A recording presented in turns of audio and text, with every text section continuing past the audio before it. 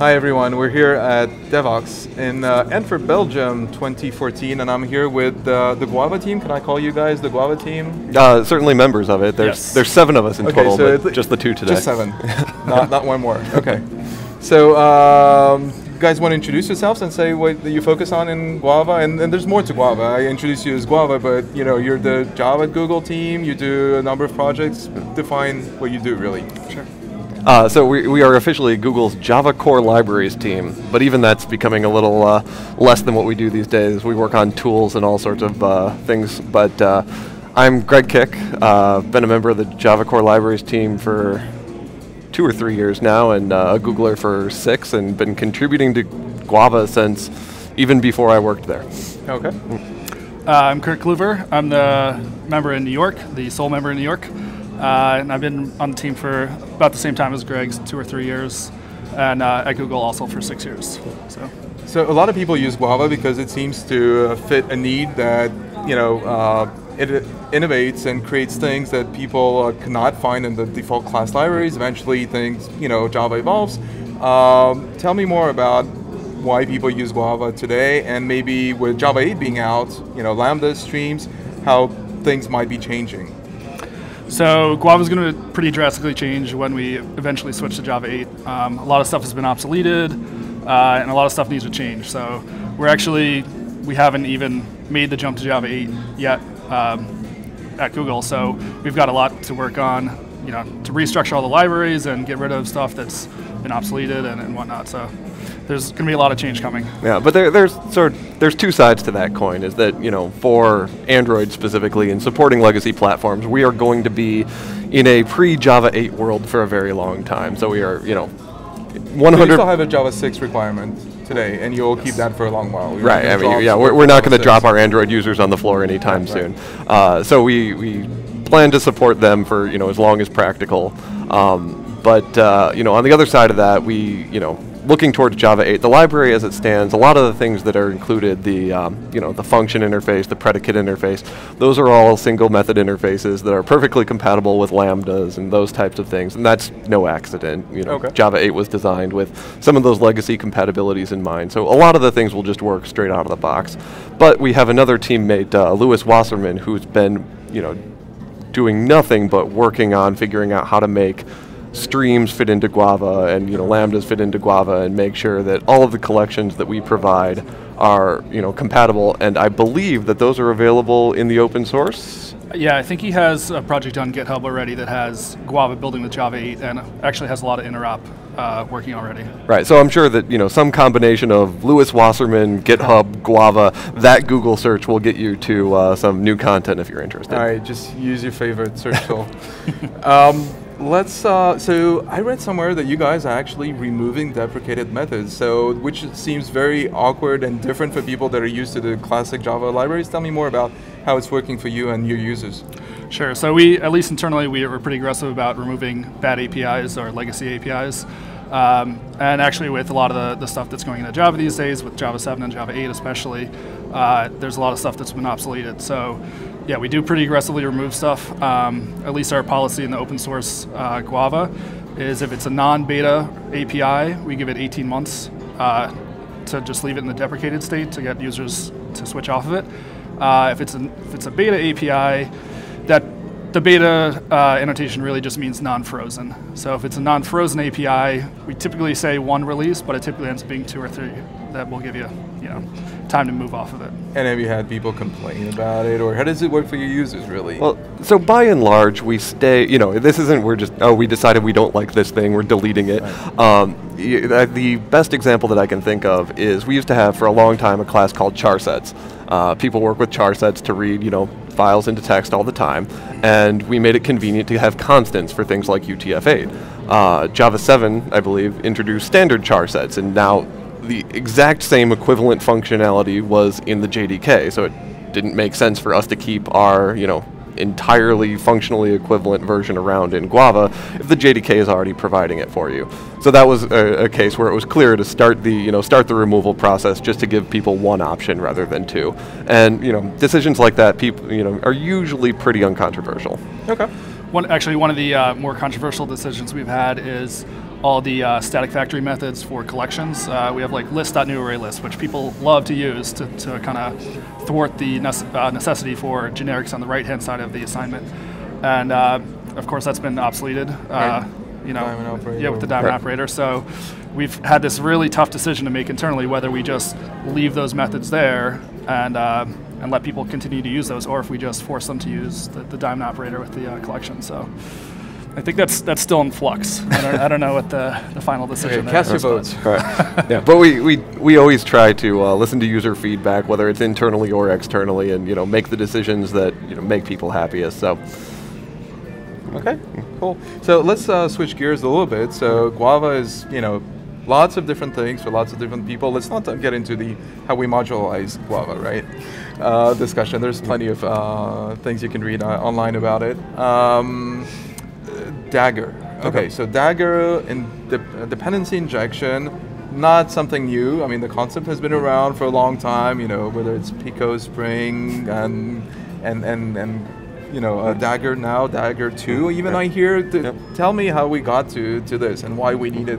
Why did we have all those generations and what is the problem you're trying to solve? Sure. Uh, first of all, kudos for remembering Pico container. I'm sorry. But, uh, not not too many Showing people do these days. Yeah. Um, no, I uh, I just recently gave a presentation. There's a um, a good sort of history on you know how we arrived. But uh, dependency injection is great, and we've used it to great effect. And Guice is probably one of the most widely used frameworks within Google. Uh, has tons of adoption, and you know lets us make very large apps very effectively. But the chief complaint has always been that because you do all the configuration of your dependency injection at runtime, it can be a bit of a mystery how your application lays out. So when you know you build up very very large applications like Google Docs and things like that, um, you know debugging can be a bit of a trick when you see an issue in production and you don't really know why things were configured the way that they are. Um, you know, reasoning about why that may or may not be from your code can be difficult if all your configuration happens at runtime. So Dagger 1 uh, was a step in the right direction where it used code generation rather than reflection to, you know, statically configure some of these um, you know different dependency injection options and you could start to inspect more and more just in your code base at compile time rather than at runtime and Dagger 2 is the next evolution. Um, Dagger 1 was originally developed by Square with contributions from Google. Now, Dagger 2 is mostly developed at Google with contributions from Square, and it is a fully compile time solution. Okay. Everything about your dependency injection graph is all written down statically. So from the you know very high level entry point to your application all the way through the graph to the very you know lowest level node, you can navigate using things like find usages and open declaration in Eclipse. Um, so for the first time ever, we've gotten rid of all the dynamism that was causing a lot of issues and we now have you know an entire application laid out at compile time that survives things like you know ProGuard um, in you know your mobile environments and uh, obfuscation because you have the entire application written down as just pure simple Java code. So, for from a developer perspective, does that change anything? I mean, you have injection points, and then do you have additional features, or do you actually have less features, maybe? Oh, because you're actually yeah. maybe compare that with Guice. Absolutely, there is a trade-off. We don't have a lot of features that were, you know, solely reflection based. Uh, we're viewing that as a good thing because there's a lot, uh, you know, fewer places where you might get a little confused. But some people that used heavy use of like AOP, the aspect-oriented programming, where you could dynamically change behavior at runtime, there's no support for that. Um, anything where you were changing the shape of your dependencies based on a runtime flag, uh, there's no support for that. Uh, and we've got a lot of work-alike solutions for many of the for many of the patterns that people uh, found that they needed, uh, and we've been able to run. Um, you know, large large search applications, large portions of the search stack uh, have been fully implemented using Dagger 2. So we're confident that there are solutions to all of the problems. They might just not look exactly the same as they did with Guice. Okay. So you mentioned Square as the initial uh, writers and uh, and uh, developers of the first version of Dagger. Is this whole thing really mobile driven and mobile only as a solution, or could you see Dagger 2 specifically elsewhere and maybe s- support things like servlets? Does it, does Oh. it make any sense? Yeah, absolutely. Well, I mean, um, fast startup is one of the things you also get because Right. of that. You're not doing all that class scanning and, and generating code at startup at runtime. sure. So I'm sure that works well in the cloud too. I mean, that's Oh yeah, everybody we- likes fast startups. yeah, no, nobody ever complains about good performance. Uh, no, while we have, you know, certainly within Google a lot of applica- or a lot of mobile applications running Dagger. Like I said, um, it also powers Dagger 2 specifically powers a pretty large portion of the search stack, and we've seen um, when we transitioned from Dagger 1 to Dagger 2, we actually saw a 13% improvement on per request CPU, and you know. Fast search results is what we do, and you know Dagger 2 is now part of that solution, and that's been you know pretty rewarding. Where, where's Dagger 2 now? Can you give us a status? Uh, Dagger 2 is still building, you know, from head for the most part. We haven't had quite the 2.0 release yet. Uh, we expect to have a, um, you know, sort of feature complete, bug f- more or less free uh, beta version coming soon. Uh, but right now, you just have to pull it down from GitHub and build from head. Sounds good. Um, switching gears once again. Uh, how about we talk about something called Truth? I've heard about it, but really, you need to tell me and probably everybody else what this is about. Uh, sure. So it's a Fluent assertion library uh, based on JUnit um, that uh, that we've been using for a couple of years now inside of Google, um, but we've been focusing on focus, focusing on it for about six months now, um, and we've really been driving the uh, adoption and uh, uh, change in the API from a bunch of legacy uh, assertion libraries that we had inside of Google. So we had these, this one just I don't know, maybe 200 different static uh, assert methods, assert, blah, assert, you know, all these different assert methods. That was just a big grab bag of uh, assertion methods that, you know, users just couldn't navigate because it was just way too big and complex. Uh, so we kind of um, have evolved the Truth library to fit the needs for these users. Okay. So we've been, like I said, focusing on it for probably about six months now and driving the adoption of Truth for, uh, by migrating those legacy users to this, this API. Okay, so that's yet another project that you're working on. Where is that at? Um, so that's that's open source as well. We haven't uh, really even set goals for when we're going to do like a 1.0 release or anything like that. But we've been doing snapshot releases and stuff like that. Uh, it's all all being synced up to GitHub as Any well. so- external committers, uh, external interest? Um, interest. I mean, There's certainly interest out there. Um, I don't know that we've had a whole lot of external commu- uh, committers, any but call, call to action. I mean, what, what should people expect and look at? Um, I mean, they can certainly test it out, and if they have any feature requests, uh, submit those as issues. We've had a handful of good ideas come from external contributors as well. So So Well- just just ideas, and you implement. Right? You did the work. typically, That, that's that works yeah. too.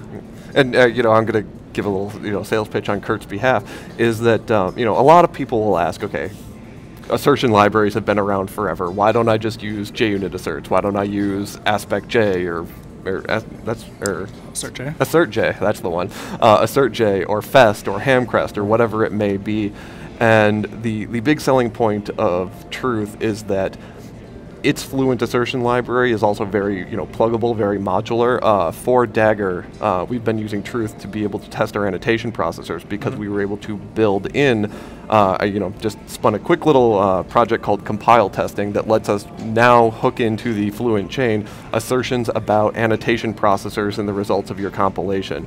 And it's because you can very quickly and easily add new bits to the uh, chain for your specific types that's uh, we found truth to be really powerful uh, so whether it's things like protocol buffers or Yeah. your new fancy collection the guava collections like multimap and uh, multiset we can now build in extra assertions as we go rather than having to you know recompile a whole new version of the library and make a new static method somewhere and those custom assertions, people, like Greg uh, alluded to, um, people on their own, you know, smaller projects, they can make these, uh, you know, domain-specific languages and you know make the assertions exactly, uh, you know, how they would read it in fluent English. Um, so we've had you know teams all over Google making their own uh, plugins to to to, tr- to make their assertions read a lot better.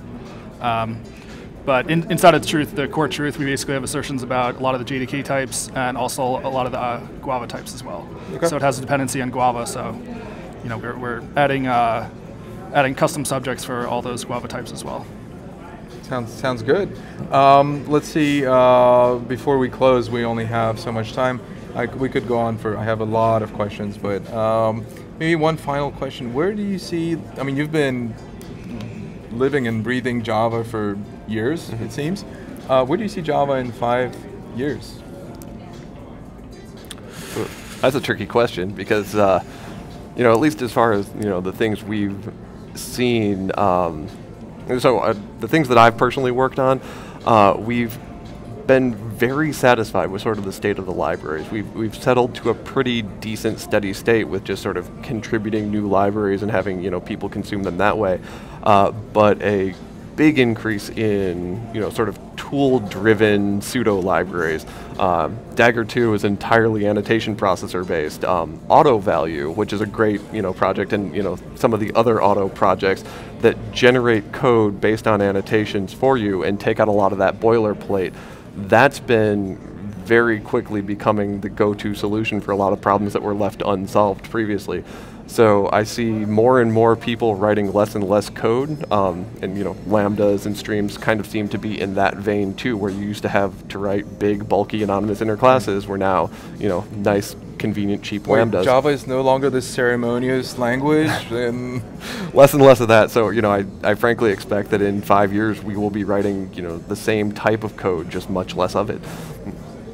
okay, sounds like a bright future to me. Thanks, guys, for, for doing this, and uh, enjoy the conference. Excellent. Thank Thanks. you.